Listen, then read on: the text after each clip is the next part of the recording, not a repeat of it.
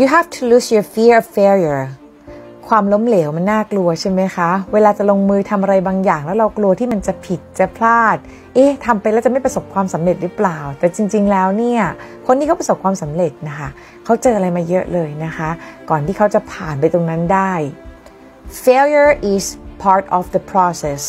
ความล้มเหลวเนี่ยจริง ๆ แล้วมันเป็นส่วนหนึ่งของกระบวนการนะคะที่จะทำให้เราไปได้ถูกที่ถูกทางทำได้ถูกต้อง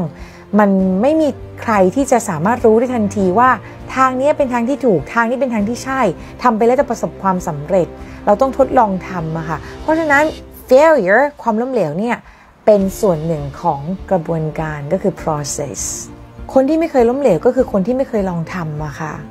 people who never fail actually never try ก็คือจริงๆแล้วเนี่ยการที่เราจะ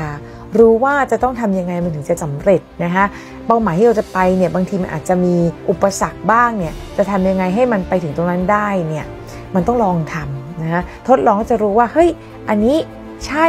นะเอออันนี้ไปต่อเฮ้ยอันนี้ไม่ได้แล้วว่ะไปทางนี้มันไม่ถูกต้องมันมันผิดพลาดไป เราก็เปลี่ยนเส้นทางวางแผนใหม่ แล้วเราจะไปถึงตรงนั้นมันอาจจะไม่ได้โรยด้วยกลีบกุหลาบอะค่ะ แต่ถ้าเกิดเราทำไปเรื่อยๆเราจะเรียนรู้ว่าเฮ้ยทางนี้ไม่ได้ ลองไปอีกทางหนึ่งแล้วเราก็จะไปถึงเป้าหมายของเราสักทางหนึ่งอะค่ะ you got to get it wrong